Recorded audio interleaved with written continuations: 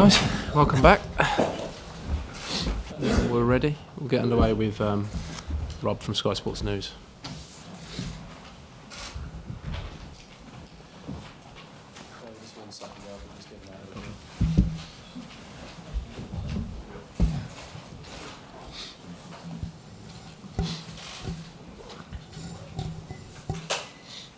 Gareth, some really eye-catching names in your squad, some real headlines from our perspective. Um, perhaps most striking, James Maddison, Mason Mount and Jadon Sancho, who all get their first call-ups. You've got two big games coming up against two teams ranked in the top 10 of world football. How big a call is that for you to bring those guys in?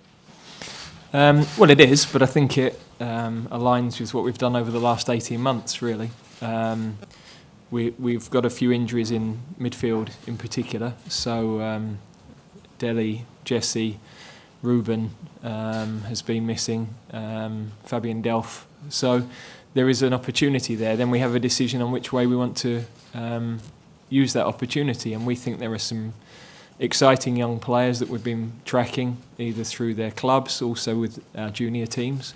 Um, it's a great opportunity for us to look at them. We, we, we feel that um, we are always conscious of the balance of how quickly we put those young players in and raise expectation around them and make sure that we don't um, uh, we don't uh, detrimentally affect their development. But um, we think they're performing well with their clubs. They're, they're confident players.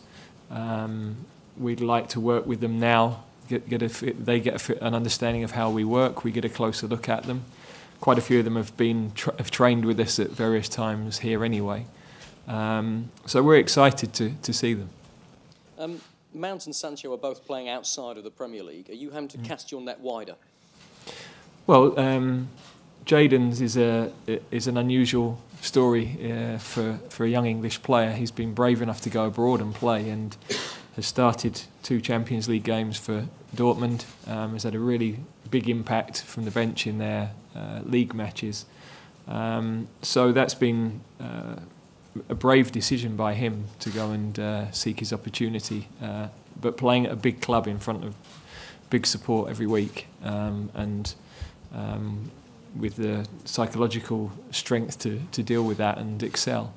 Um, Mason is a slightly different situation. He had a year at Vitesse last year, so he's had another year of men's football. Um, this year in the Championship has created more chances than any other player in the league. Um, he's, he's, a player that trained with us before the World Cup. Um, and um, yeah, they're, they're both still formative stages, but we think they can have an impact with the group. Um, and we would have no hesitation in, in playing them in the games. Um, Ross Barkley hasn't played for England for almost two and a half years now. What's he mm. done to, to earn this call up? Well, he's had a long period injured at Chelsea last year, and so um, that, that wasn't a reflection on the, on the quality of the player that he hadn't been with us, but he, he wasn't getting any football really. This year he's started the season uh, in the team at Chelsea. Um, he's a player that we know has uh, good technical quality. He's, he's grasping the tactical side of the game. I was interested to read his interviews this morning on that. So um, it's a good opportunity for him to come in. As I say, one or two of those opportunities might not have been there uh, if we'd had other players available.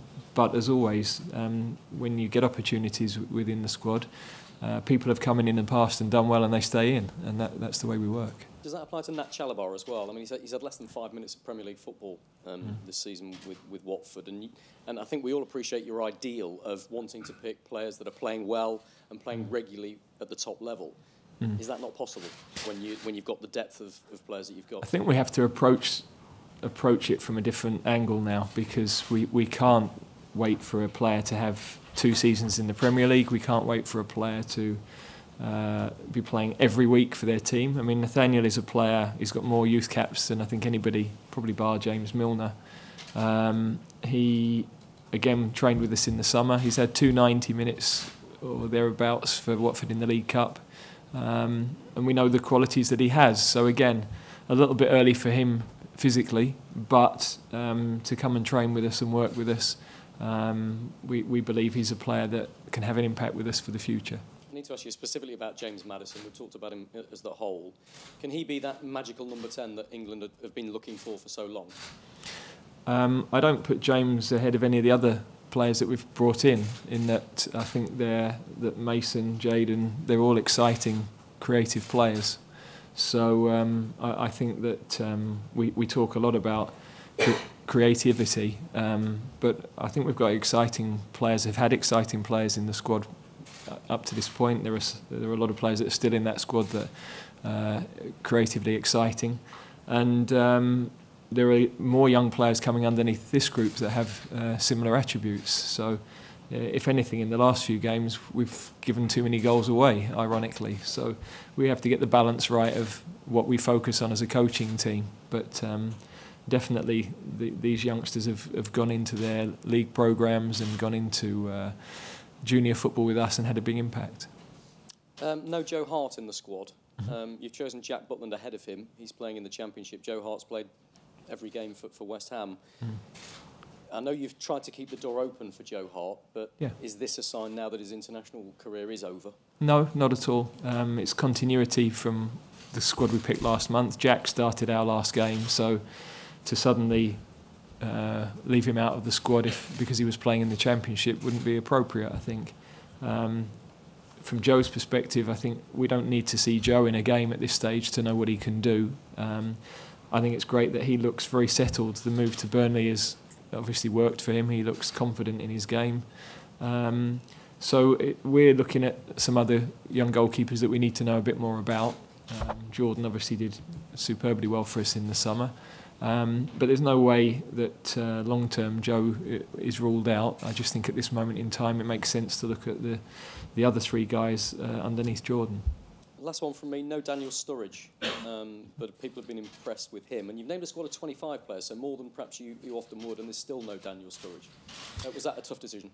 Well, it's again good to see Daniel back playing. He missed all of the end of last season. Um, he's um, a goal scorer. We know again the qualities Daniel had. He hasn't had a lot of football back in, so um, again we wanted to look at some younger players in that area of the pitch at this moment in time. Um, but you know, we like Daniel in terms of personality and character to work with. He's uh, he's a, he's a player that I've I've enjoyed when he's been in the squads. The the conversations I've had with him and and the way he plays. So, um, but I wanted to look at the likes of Sancho and Madison and people I know slightly slightly different positionally, but uh, we also I talked last time about wanting to give Marcus Rashford playing time, and we did that, and I think he came out of that international spell with a, a lot more confidence as well. So uh, again, Daniel, good to see him playing, and he's just got to keep doing what he's doing. Um, Gareth, as Rob mentioned, I mean, obviously these are pre- two pretty heavyweight opponents in Croatia and Spain. Was there any part of you at all that, that would hesitate about using, you know, Jadon Mason particularly so so young in their careers, and what gives you the confidence that they've got the, the mental aptitude to survive against, you know, two such big name opponents?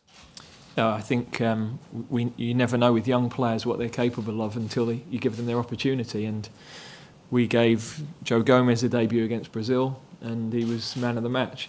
Um, you know, we've done that right the way through the last few years, and um, I think these guys. It may be a little bit early for them, but equally, I think they're having a, a big impact in important matches. Um, Mason Mount stepped up, took a penalty at Old Trafford last week, you know, took it as if he'd been there all his life. Um, Jadon's had a similar impact for, for Dortmund in big matches. So um, I, think very often we hold youngsters back a bit too much. I'm always trying to find that balance, and the messaging to them has got to be correct. They're still early stages of their career with a lot of learning to do. But I think it's good at this moment in time for their development to, to train with us and for us to see how they adapt to that as well. Okay, any further questions? we call it? We'll head on to the daily written briefing next. Thank you very much.